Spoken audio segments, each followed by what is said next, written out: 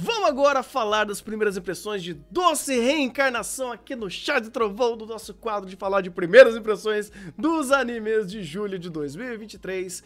E esse nome sugestivo aqui, parecendo novela, pode esconder coisas aqui, cara. Porque você entra neste anime, você fala, meu Deus, por que, que o pessoal de Shadows House tá cozinhando estátuas de doce? Você fala, oh meu Deus, estou em Shadow House? Estou em, em uh, Sugar Apple? Não sei onde eu estou, eu estou no Isekai. Aí você vê essa produção e fala, Jesus amado, o, o, brother morre com uma galinha de, de açúcar caindo na cabeça dele. Você fala, Jesus amado. Aí todo aqueles tropos que você já tá acostumado, você fala, oh meu Deus, estou mais um desses. Estou mais um desses. Aí você começa a assistir, você fala, cara, eu consigo assistir Eu estou em um desses, só que ele não tá péssimo. Exato. Ele tá fazendo o mínimo. Isso é ótimo. Isso é. Cara, uma coisa que eu dou mérito, sem sacanagem pra esse anime, é que ele tem uma estrutura. Ele ainda repete muitos tropos de Sekai que a gente tá, já tá cansado ao extremo. Mas ele ao menos separa, tipo, o protagonista, ele é chupado o tempo todo, falando, não, como ele tem muito poder, como ele é inteligente. Mas é separado a questão de que ele realmente tá fazendo coisas importantes, ou ele está fazendo um feito importante, e eles levarem a sério porque o, o pessoal em volta dele se importa com esse tipo de coisa. Ele tá cagando pra isso. Ele tá pensando em doce. Fazer doce, uhum. porque a vida dele é fazer doce. Mas uh, todas as piadas se limitam à cabeça dele, não aos personagens em volta. Isso já deixa a situação um pouquinho mais palatável do que o normalmente é. Porque normalmente, até o Maurício pode dizer, porque ele vê muito dessas porcarias por temporada, pô, é, é o nível smartphone, se não pra baixo de, pô, como você é fodão por atravessar a rua. Você é muito pica pra fazer isso, cara. Não, na verdade é. A, a, a personagem, geralmente, a condecoração dele é o que o Rafa falou, mas geralmente sim, o padrão de Sekai. Personagem reencarna no outro mundo, com algum poder quebrado, fodão, de algum jeito ele faz alguma coisa boa para uma personagem feminina, que basicamente depois que ele faz alguma coisa boa para ela, vira para pro, pro protagonista e fale: "Abaixe as calças, meu amor, eu quero lhe". Entendeu? e aqui estamos longe disso. Uhum. Estamos é. longe disso. Pois é, cara, eu fico incrédulo. Inclusive, Uh, a gente roubou um pouquinho porque saíram os dois episódios, os dois primeiros episódios juntos, e terminar o primeiro episódio me deu vontade de ver o segundo. E ele não, ironicamente, precisava desses dois primeiros episódios para de fato introduzir a sua história. Porque ele deu tempo a tudo.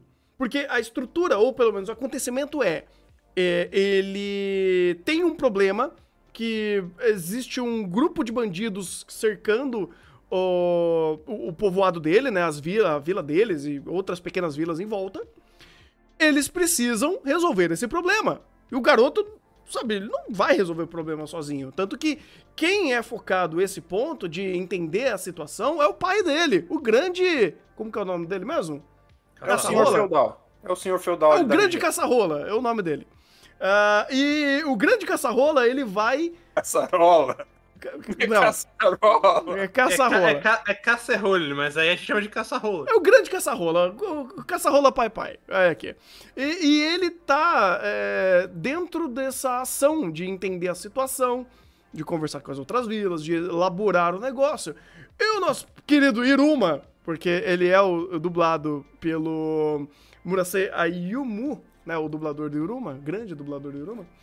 Ele ele tá, ele tá vivenciando tudo aquilo, mas não como protagonista. Ele não tá protagonizando os eventos, ele está vivenciando aquilo e passando pelo processo de maioridade dele, porque eles não têm homens suficientes para lutar contra esse exército que tá vindo, e ele vai receber essa primeira benção divina e se tornar um adulto com 9 anos de idade, ganhar, atingir a maioridade, porque eles precisam de pessoas para lutar contra esses bichos, até esse exército. Tanto tem o, lance da, da, mãe dele, falando, pô, meu filho já tem que virar adulto, tem outras crianças na vila também que, que vão precisar lutar. Então você vai cozinhando um conflito, dando a etapa a etapa uma explicação sobre esses acontecimentos ou a percepção do que está rolando ali. Você vai introduzindo o personagem, você vai explicando um pouco do mundo, você vai explicando qual é o problema, de, de, de, problema estabelecido, por que, que esses caras estão chegando, qual, qual é a falta de recurso deles por fazer isso, ou que eles estão pilhando cidades por conta disso. E você vai mostrando tal, e ele vai dando tempo ao tempo, fazendo as explicações dele de comida. Ele, Nossa, isso é uma maçã que tem um outro nome nesse mundo. Mas se essa maçã, né, ele sendo confeiteiro, e tendo esse conhecimento, e sendo apaixonado por, por doce, ele fala, nossa, eu podia fazer isso se eu tivesse outro material. Ou, nossa, essa maçã eu posso fazer aquilo tal. Mas dentro da cabeça dele, com processos que não te ofendem, porque, oh meu Deus do céu, você está tirando uh, o, o, o status quo desse mundo para sequestrar tudo ao seu a sua perspectiva. Não, ele só está pensando. Ele está no mundinho das ideias dele, mas isso não está afetando o mundo ao seu redor. Porque não é para fazer isso. Ele só está explicando que ele tem esse conhecimento. E a narrativa vai andando, dando tempo tanto para ele ficar brincando e fazendo os malabarismos de, de ideia dele, quanto explicando para você o problema iminente desse mundo. E aí você vai com essas coisas acontecendo ao longo do tempo, até chegar no segundo episódio de fato ter esse ataque dos bandidos e mostrar o poder do protagonista, mostrar o, o, as etapas de processo que eles usaram para conseguir lutar contra eles, porque eles usaram funda, é, eles fizeram um cerco, né? Fizeram um cercadinho lá. Pra, é, com, com um poço para os bandidos não chegarem. Papai foi o batedor junto com o, carinho, com o outro cara lá para tentar é, minar um pouco as forças inimigas. Você fala, cara, tudo isso é crível. Tudo isso é plausível. Não tem produção, pelo Deus do céu. A produção disso daqui tá chorando sangue. Uh, mas tudo que ele está mostrando e te explicando tem um passo a passo, tem uma lógica. Não fica falando que, meu Deus, como o protagonista é foda, porque o protagonista ele age em situações pontuais. E parabéns, você tá fazendo o básico de um Isekai. E geralmente a gente não tem isso! Não existe isso! Geralmente é uns Isekai que você fala, meu Deus do céu, eu não aguento mais ver anime. E aqui ele tá fazendo o mínimo. E fazendo até que bem feito, tá fazendo de uma forma plausível, agregativa. E eu, eu gostei. Eu gostei, de verdade, eu gostei. Eu, eu consegui assistir os dois episódios, me cativou, me introduziu esse mundo, me introduziu esse personagem, com várias concessões, mas ainda assim eu falo, poxa, se a média dos ICKs de temporada fosse assim, eu era uma pessoa muito mais feliz. Mas pegando assim, tirando um pouco do discurso pessimista pela realidade de nota baixas que a gente tem em relação a esse gênero, essa, esse recorte do mundo dos animes que é o Isekai. É um anime que faz o básico, é um anime que tem restrições de produção, beleza. É um anime que vai tem uma premissa diferente, relativamente interessante, e não abandona ele no seu primeiro episódio, que já é uma coisa legal. Pô, ele tá respeitando a própria premissa e por mais que as situações desses dois primeiros episódios sejam de bastante distantes da premissa, ele não faz nada assim que subverta a ideia principal dele a princípio. Uhum. Ele até respeita o, o, fato de que, bem, o status atual dele não permite que ele prossiga com a premissa. Então ele faz todo o aposto, tanto é que a gente vê mais uma atuação do pai do personagem, né, o Caçarole, o Caçarole né, Caçarulho, Caçarro, sei lá qual é o nome do O Caçarola, o pai, o pai Caçarola, é uma do que do filho do nosso protagonista. E querendo ou não, ele falando por cima aí de alguns ingredientes e tudo mais, considerando que eles estão no mundo medieval, o pouco que ele falou de alguns ingredientes me chama atenção para um, algum cuidado. Maçãs mais azedas, ele comenta. Ele não fala de açúcar branco, ele fala de açúcar mascavo. Ele tem alguns detalhezinhos ali que é interessante. Ele não tá puxando nenhum ingrediente assim que né, não seria impossível de ser visto ali. Ele tá respeitando com o devido concessão do lado agrônomo ingredientes que seriam possíveis de ser obtidos com um sistema tecnológico mais rústico. É... Sim, parece que na culinária ele vai respeitar bem a sua própria premissa e vai ser um anime de roteiro básico, a princípio, e vai seguir sua culinária para ser o anime do cara fazendo doce no mundo medieval. Parece ser uma coisa interessante. Meu lado agrônomo, vendo os pés de soja, vendo ele falar que é só jogar cal na soja que vai tudo certo, tá olhando para isso e tendo um treco. Ah, essa proposta dele não é falar de agronomia. Eu vendo os alhos, as batatas, a, a cenoura ali no canto, o alho poró, a cebola. Nossa, essa cebola tá horrível. Tô tentando. tá dando daí. Eu vou começar a falar de cara. Nossa, aquele tomate verde ali no canto. Meu Deus do céu. Inclusive, né? É, é, meu lado agrônomo. Pô, hum. parece que ele tá tendo algum cuidado, pô. Ele não tá. Pô, um açúcar cristal, um creme de não sei o que, um chantilly. Não, ele tá botando ingredientes mais rústicos, numa batata, uma tomate, soja na Europa medieval. Ah, não vou pensar no lado agrônomo. Mas né, pro lado culinário parece que pode ser uma experiência interessante. De fato. Por isso que eu falei, ele é um. Ele tá ok. Ele tá ok. Ele não te ofende tanto. É, é, a gente brincou, ele é café com leite. O café tá meio morno? Tá. O leite tá meio passado? Também tá. Tá sem açúcar? Tá. Tá. Tá bem. É ainda um café com leite. Geralmente a gente bebe lava. Chá de lava vendo anime, cara. Meu Deus do céu. Porque é difícil. Mas esse daqui, tô honestamente feliz. Honestamente feliz, cara. Pô, não sei se eu vou acompanhar, mas ainda assim ele passou no teste de resistência, num teste minimamente é, assistível. E se você, por algum motivo, gostou da proposta, do protagonista, porque, cara, eu gostei demais do dublador. Porque o dublador é extremamente gostável. O, o Ayumu, ele é um dublador, assim, que esbanja carisma e ele abriu a boca a primeira vez eu falei, ai meu Deus, ai minha empatia, ai minha empatia. Mas ele fez básico, mandou bem, deu Conseguiu, inclusive, fazer uma coisa que eu tava duvidando no guia, se ele vai juntar bem esse mundo de fantasia junto com a ideia de fazer doce, e ele tá indo bem, tá ok, sabe? Parece que ele vai criar esse pr primeiro grande evento e depois resolver e seguir a vida dele de fazer doce. Tanto que até o próprio poder mal, maluco dele, quebrado, talvez não interfira tanto e a história vai meio que continuar dele só querendo fazer os docezinhos dele e tá tudo bem.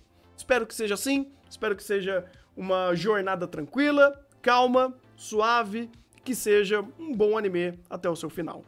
E para não perder o costume, vamos fazer o Sekai Bingo? Vamos, vamos, vamos pro bingo aqui. Vamos lá, deixa eu aqui. Esse foi a aposta fácil. Esse foi, esse foi. Será que vai? Será que vai? Não sei. Vamos... Será que vai? Será que vai? Vamos descobrir. Então deixa eu pegar aqui. Querido Face. Não. Não. Não. Não. Então, né. Mini Waifu. Teve. Hum, teve. Teve. Teve. Teve. velha e teve, e teve a, a Tomboy. Exatamente. Teve, teve, é. É, Não, não, não tem o que fazer. Tem que fazer. Tem coisa que. Né. CG cagado. Não teve CG, teve. Teve cavalo. Cavalo Não, bugado. CG. Tava cagado. Mas teve não tava CG, mas não tava cagado. Ok, é, ok. Machismo.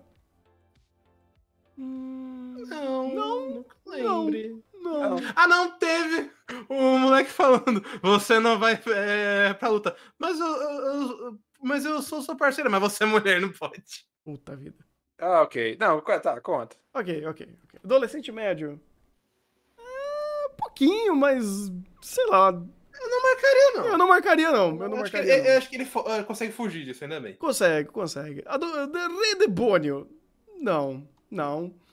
Tít- título gigante, também não, Não. finalmente. É só uma piada. A piada dele nunca comprou.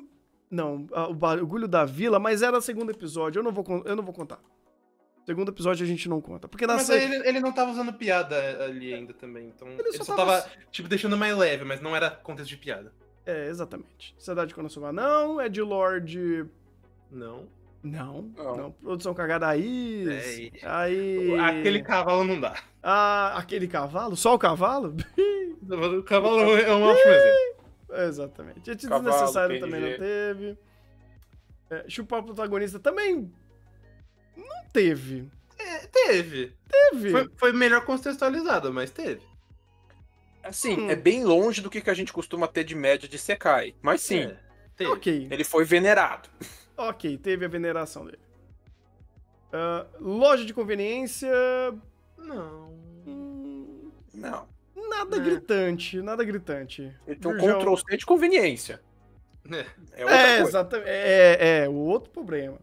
Burjão, também não. De boa. Não. Tensão à primeira vista, é, não. Não? Não. Men- Tem meritocracia. É.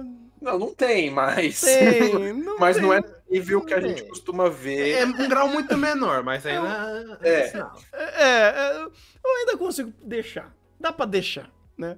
Além Boss também não teve. Sistema de RPG, Não. não. Não, o poder aqui veio de outro jeito. O Pois dele é. é de Harvest Moon.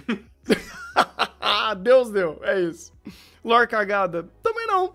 Não, não acho que. As explicações sobre, por, por exemplo, o conflito do- dos bandidos estava bem tranquilo. Uhum. Protagonista OP aí. vai- mas peraí, vai contar segundo episódio? Não, não, não conta. Não? Não, então. Mas ainda assim conta. Porque o, eles vão lá pro, pra Ah, igreja é. e, e averiguam o poder dele. Tem, é verdade. Pô, você tem poder pra um boné, então é isso aí. Memequeísmo? Não. Assim. Não. Não, É, não. não, Não. não. Pelo que a gente considera, não. Não, é, é, é. Geralmente é isso. Garota Animal também não. Sorrisinho Maleg no. Mas Teve, barato. teve do hoje. É. Maia Baraçan. e olha só, isso se transmite em seu bingo. É incrível, né? Às vezes o anime que tá indo bem não marca tanto bingo, olha só. Quem diria? Quem diria? Ah, teve sorrisinho? Teve sorrisinho do padre. Esse aí. Teve, teve sorrisinho do padre. Tá aí, gente. Esse foi o Doce Reencarnação, não marcando bingo, sendo uma obra minimamente legal, dando pra assistir. Então, se você quiser entrar ali, ver o nosso querido Irumati nas suas grandes jornadas de fazer docinho e bater em bandido, bandido até dá. Só não dá pra ver, de- é, querer uma produção melhor, porque aí o negócio tá bem pegado. Mas é isso. Se vocês gostaram desse vídeo, por favor, deixe seu joinha, compartilha com todo mundo. Se você é novo, seja muito bem-vindo, se inscreva no canal e acompanhe também a gente nas nossas lives da Twitch, que fazemos de segunda a sábado, a partir das duas da tarde, onde a gente assiste esses animes, faz muitos outros quadros, faz gravação de podcast, a gente faz o diabo por lá, porque a gente tá, nossa senhora, 6, 8 horas online, 10 horas online, é, sei lá, a gente fica um bom tempo fazendo conteúdo com vocês, beleza? Então é isso, muito obrigado pela presença de todos e um bom anime, até o próximo vídeo.